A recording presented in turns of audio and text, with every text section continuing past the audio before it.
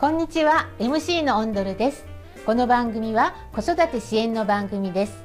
子育てに悩みを持つ方に役立つヒントをお届けいたします。毎月子育てに携わっていらっしゃるプロの方をお招きしてお話を伺います。一人で悩まず一緒に子育てをしていきましょうね。さあ、えー、今月のゲストは、えー、筑紫野市のおむすび保育園園長先生をお招きしております。中塚弘樹先生です。お願いいたします。どうもよろしくお願いします。はい、今日はあのえー、ヒロキングことひろき先生で、はい、はい、あの呼ばせていただきますのでお願いいたします。はい、はい、よろしくお願いします。はい、えー、今日はですね、えー、子育て番組ということで、えー、サブタイトルがございます。はい。はい、親の常識、この常識なんです。はい。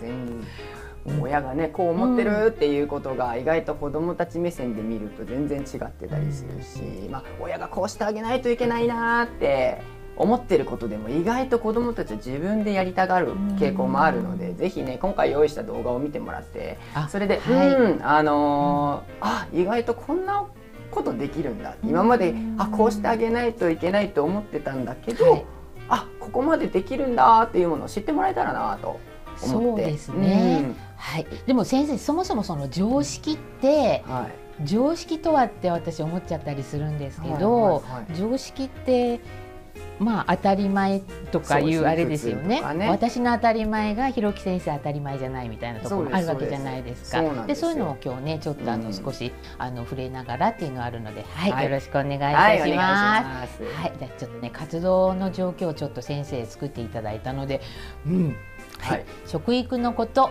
子供って思った以上自分でできる、はい、ねこれちょっとねあの資料いただきました。はい。これは？これは保育園のご飯ですね。はい。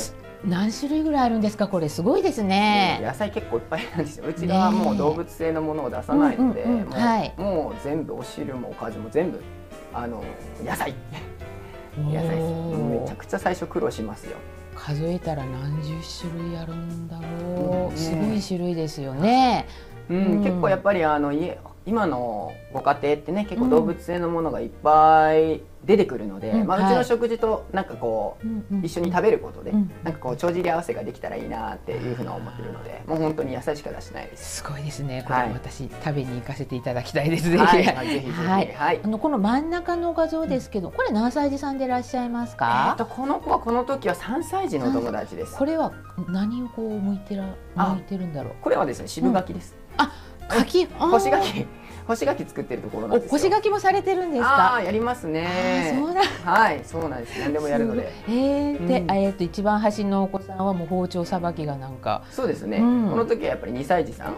だって今3歳児で年少さんに入りましたけどそうなんですね。やっぱ2歳のお友達でもやっぱちゃんとこうやって包丁でね切れることもね、ね、結構こう手慣れたものですよねこう手を添えて。本当にもうさっさっさっと切っていくのでやっぱりこうちっちゃい頃の方が怪我しにくいので逆にちゃんと切れる包丁でちゃんとまあスッてスライドするや形だとまだサクっていく可能性もあるんですけど、やっぱ歯の上に手を乗せるっていう形を取ると意外と安全だったりするんですよ。うん、だから最初の切り方としては最初こんな風にして、はい、手を添える形でやってます、ね。えー、可愛らしいですね。うん、可愛らしいですね。はい、はい、ありがとうございます。はい、えー、次はどういった活動なのかな。そうですね。この今から見せる画像っていうのが、まあ一歳児のお子さんなんですけど、はい、まあこの時はあ、そっか一歳児さんかな。一、うん、歳児のお子さんなんですけど、これで、うん、自分でそうなんですよ。これお給食ですそうです。うちはあの結構食べ放食べ放題というか、うん、あのー、自分の分は自分でついでほしいなって。うん。やっぱり朝ごはんを食べるのもバラバラだしご家庭では。う、ね、うん、お腹の空き具合消化具合もやっぱ人それぞれ違うので。子どもたちがやっぱ自分で継いで自分が食べれる量ってどれぐらいなんだろうっていうのを感じてほしくて、うん、で自分でよそったものはもう自分で責任を持って食べるみたいな。そうですそうですなるほどですね。だから最初持ってあるものっていうものはあの持ってあるものを残しちゃうのはしょうがないんです。よ、うんうん、もうもうこれらのね、はい、加減の部分があるけど、はい、まあ自分で継いだんだけ、うん、そこは責任持って食べようよっていう。それはもう自由と規律のね部分なんですけど。ですね、なんかあの、いいですね。居酒屋スタイルで。あまあそうですね。毎日こんな感じですか？あもう毎日です。もうこんな感じです、楽しそうですね。あそれはちょっと、初めて拝見しましたけど。これがさっきの常識のね、話になってくると思うんですけどこれします？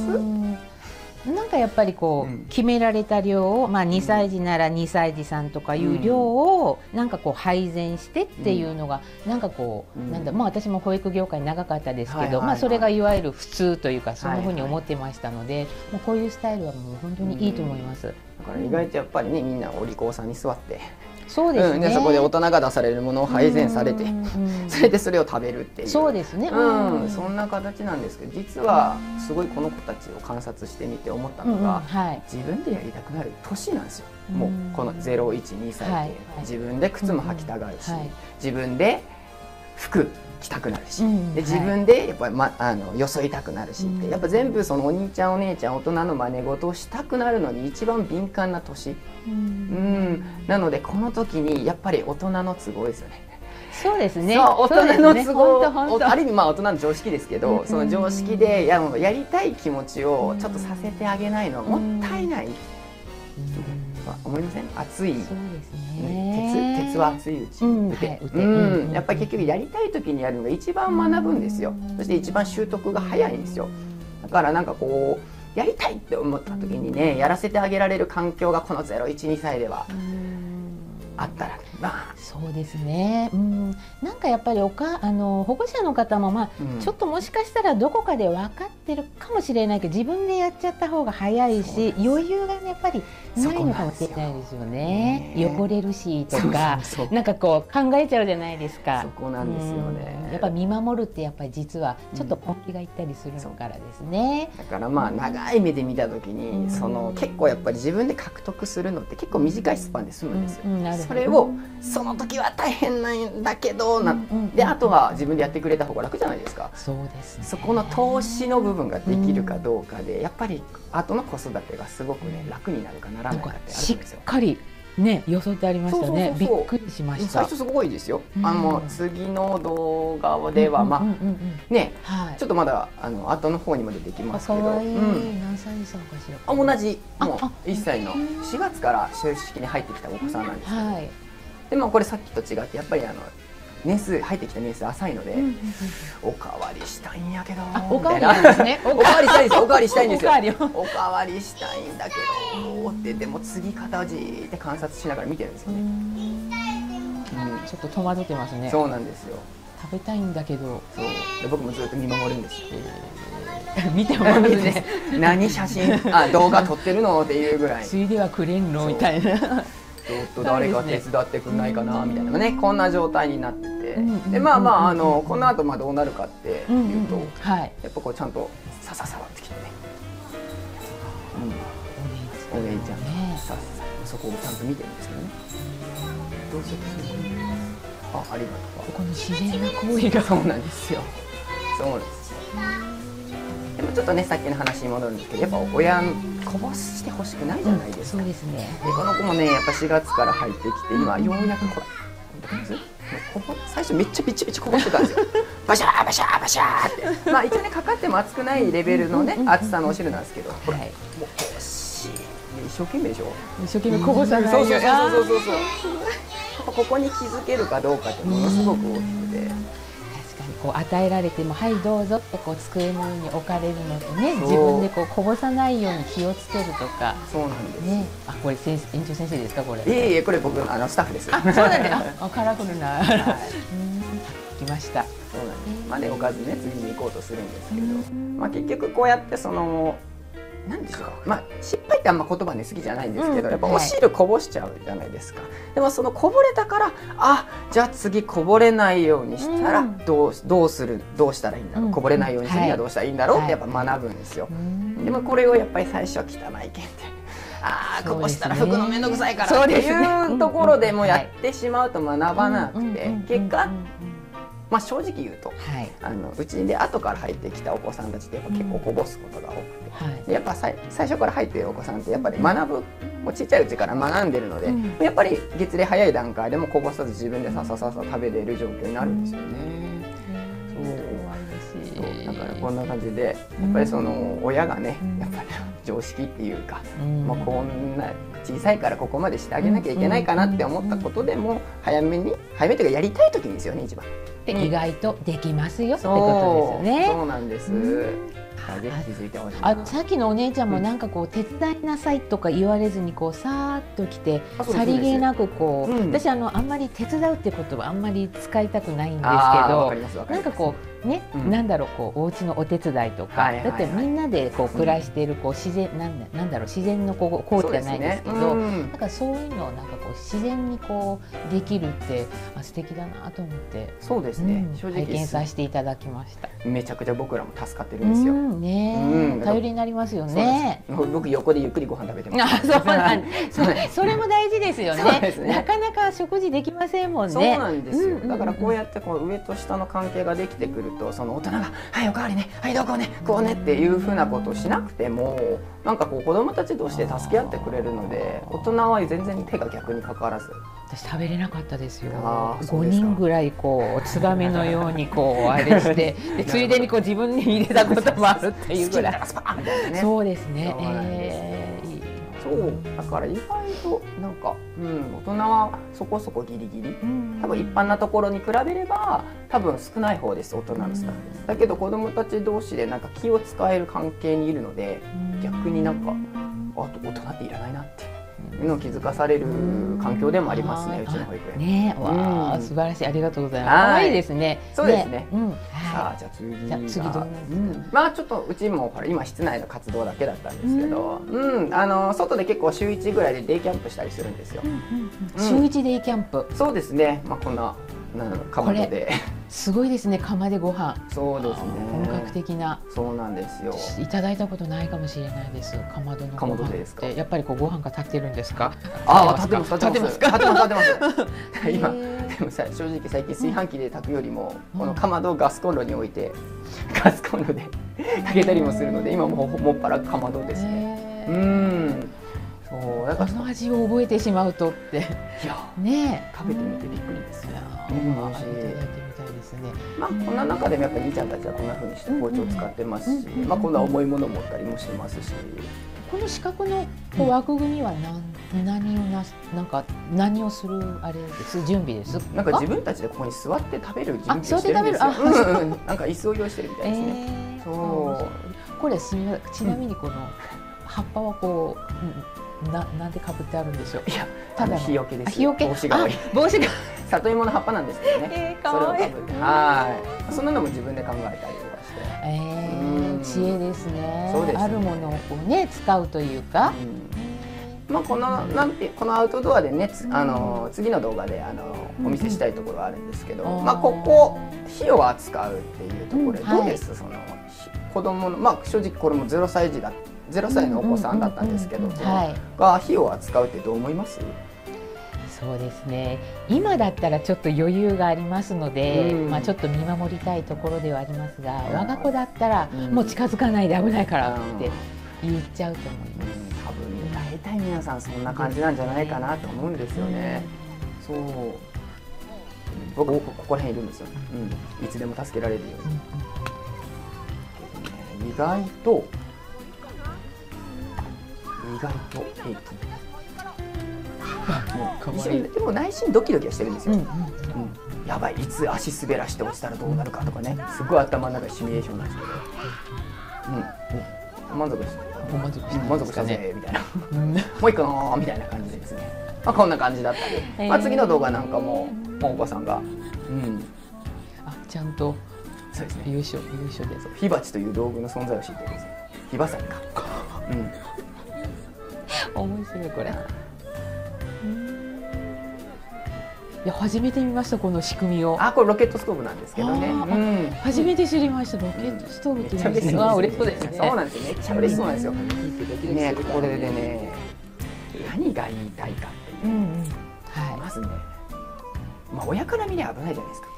もうあやけどしたらどうしようっていうねね、まあ、大体さっき言われたみたいなのが常識なんですけど子供たちの常識からすればね、うん、死なないんですよあの死にに行くようなことしないんですよ、あの子供たちって。本能的にやっぱり生きようとするんで、うんはい、うん、だから生きるためにはやっぱりやけどって結構致命傷な怪我なんですよね、うん、あの生きていく上で。やっぱり手がねあの自分の保育歴の中でもやっぱストーブにジュッてやっちゃって、うん、まあ、手がちょっとね皮がくっついちゃったお子さんもいるけど、まあ、それは手術してちゃんとね戻ったんだけど、まあ、結構ねいろんな皮膚のやけどって結構後遺症に残りやすい怪我なんですけど。より怪我のグレードが上がれば上がるほど子どもたちってものすごく慎重になるんです。うん、だけどそのまあうちストあのストーブなんかもね置いてはいるんですけど、うん。はい、そのストーブって結構火見えるんですよ、うん。はい、で熱い熱風が流れるんですよ、うん。はい、でさっきの0歳のお子さんも興味があるから近づいていくんです、でじーって見るんですよ、僕僕横肩笑いるんですよ。もういつでも手出せるようにプルプルプルプルプルしてるんですけどそのお子さんこう火見ながら触ろうかなって手出すんです、だけどほら熱風でしょ、うん、で目の前が火出てるでしょ、はいはい、スッて手引くんですよ。なるほど。そう。この瞬間に学ぶんですよ。そうですね。でも意外とねあの親の常識的には「はい危ないよ!」ってねそう感じる前にズバーっておっしゃる言っちゃうでしょ そう。だからねそう結局そういうことやっちゃうと同じことの繰り返しやっぱり興味があって触りたくなるんですよ自分であ危ないなって思わないとやめないんですよ。だからそこのあ危ないって本能的にね、思ってもらうっていうのはすごく大事で、そう青います。だからこれなんかも火落ちたら危ない思いちゃんと踏ん張ってるんですよ。でねまあ、このもうちょっとあと1分ぐらいしたらあって僕がねカメラのアングルが変わる瞬間があるんですよ、はい、うん、その時はやっぱちゃんと僕も意識してる時はあるんですけど。まあここにいるお子さんたちも長いので、はい、もう火のね扱い方とかどうすれば火が湧き上がるかっていうのももう もう分かってるんですよ。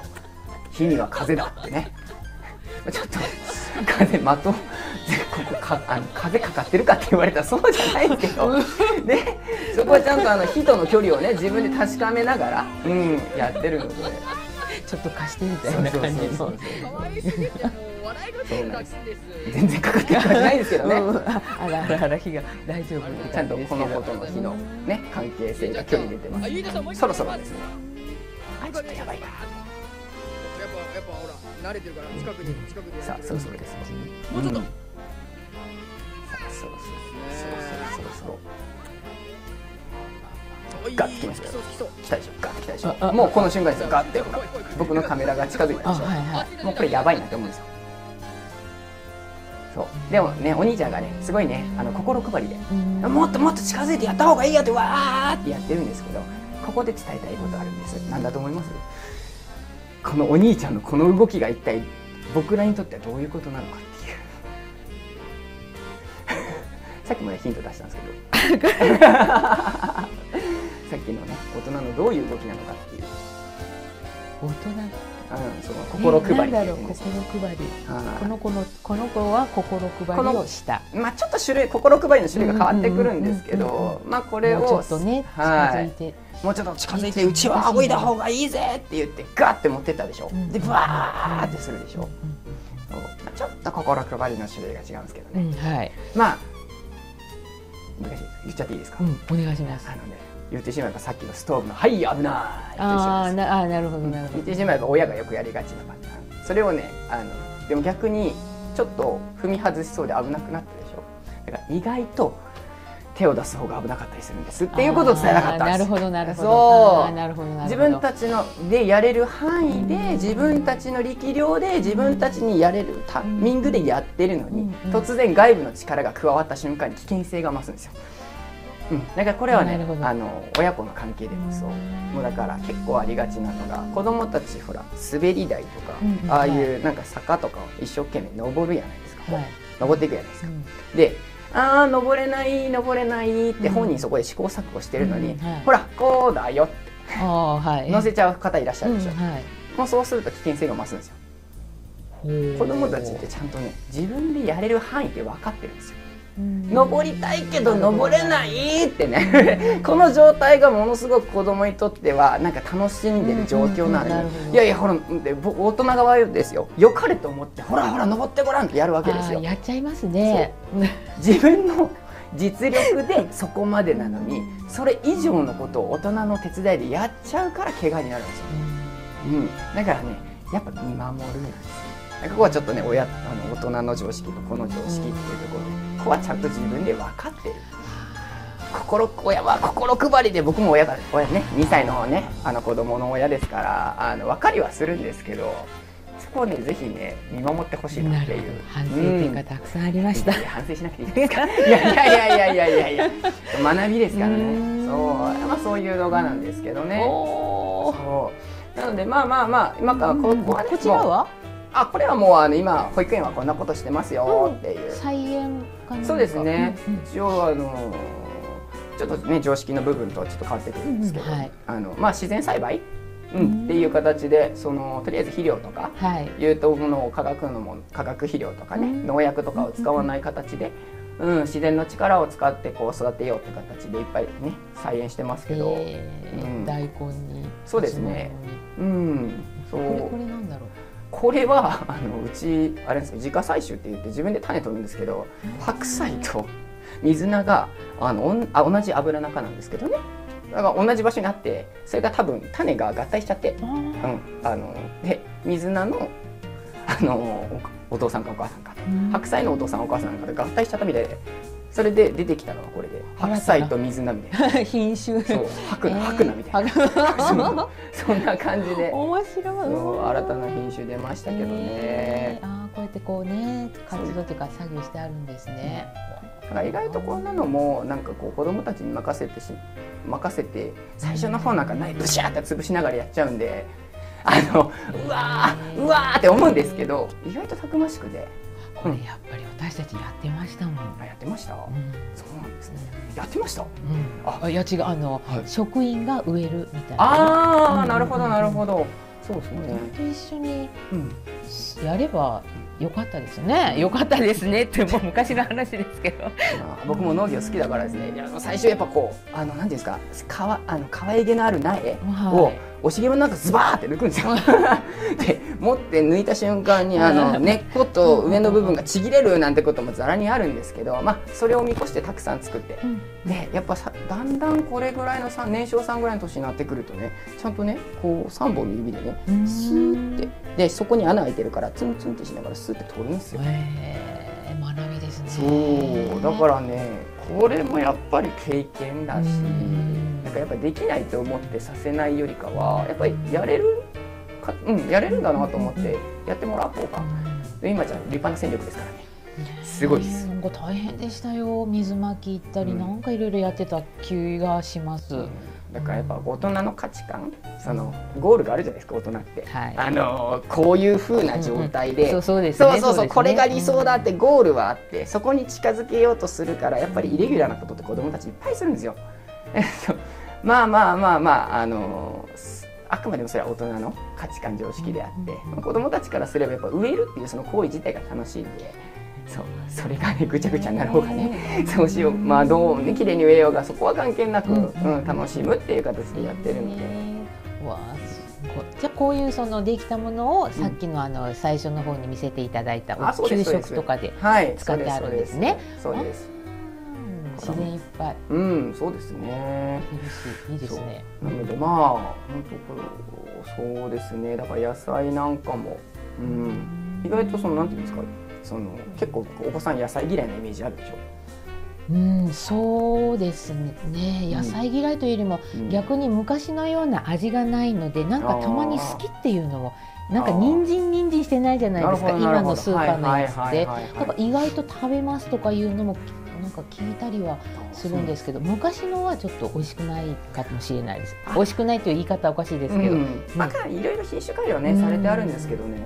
意外と嬉しかったのがなかなかこう食が微,、うん、微妙って言ったらですけどなかなか野菜の好き嫌いが、うん、うん、多いお子さんが、うん、なんか結び保育園の畑の人参好きちゃうねみたいな。うん。なんかそんな感じでそこからバーって抜き出してパッと洗ってガリガリガリガリって食べてるところとか見ると。ですね、うん、あの先生は私ちょっとあの、質問があるんですけど、はい、結構こう,、まあ、こういう頃に、えーと、例えば人参とかそういうお野菜を、はい、もう嫌いだから食べさせてないんですっっていうお母さん方とかいるじゃん。食べないんですよ。ってあれどう思われます、ね、あの野菜でしょ、うん、僕ねそこね、うん、まあちょっといろいろ面白いこと考えてて、うんはい、僕ね一番はね最初のね離乳食の頃にね、うん、美味しくない野菜食ったんじゃないかなと思うんですよ。そこ。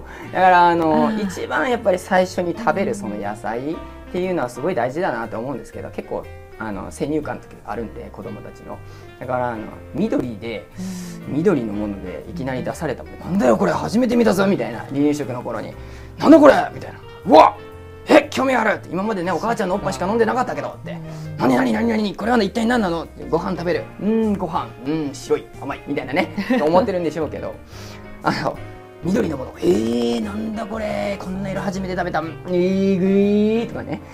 そねえぐってその初めて食べたものがそのえぐいとか苦いとかああいうものがあ僕の理論ですよ、うん、あのからこそなんかなんだろうそのこ勝手にこの固定概念が入っちゃうっていう,、なんか味覚がそこでもう形成されるじゃないけどあるかもしれない、ね、緑のものイコールえぐい苦いみたいなね。そんなのが先入観が入っちゃってそれで野菜を食べないんです。もあるかもしれないなって僕は思います。私も心当たりあります。そう私もそう思います、ね、だからそんなのこんなでなんかそういう授業ができたら面白いななんて思うんです、ああいいですね、うん、最初の一口大事ですよね。そうです。最初の一口。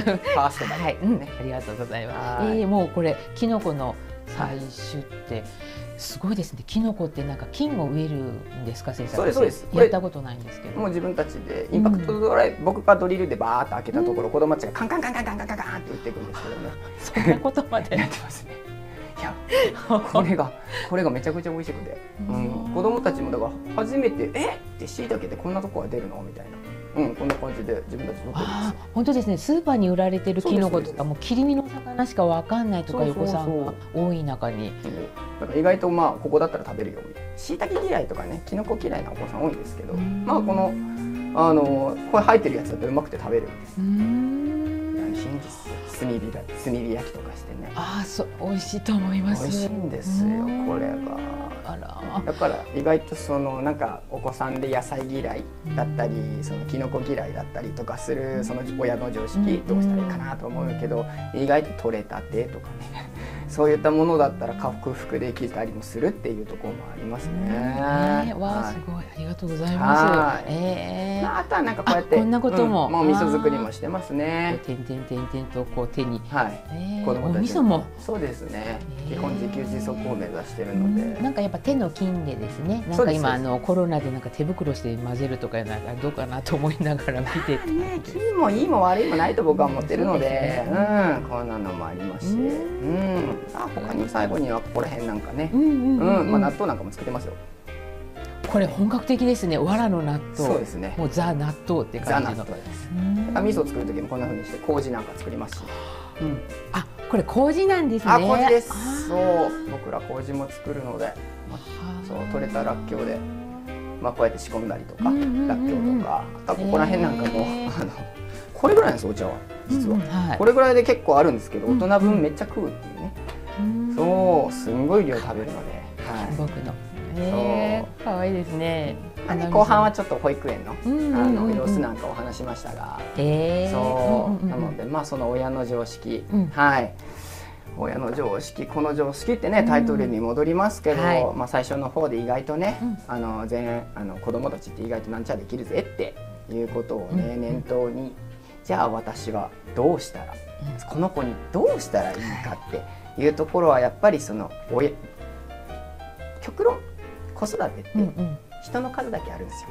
これが正解ってないんですよ。うん、そうですね。そう我が子とお父さんお母さんにしか子育て、その子育て方法ってないので、まあこういう情報も入れつつ、じゃあ私ならどこまで気持ちよく見守れるか。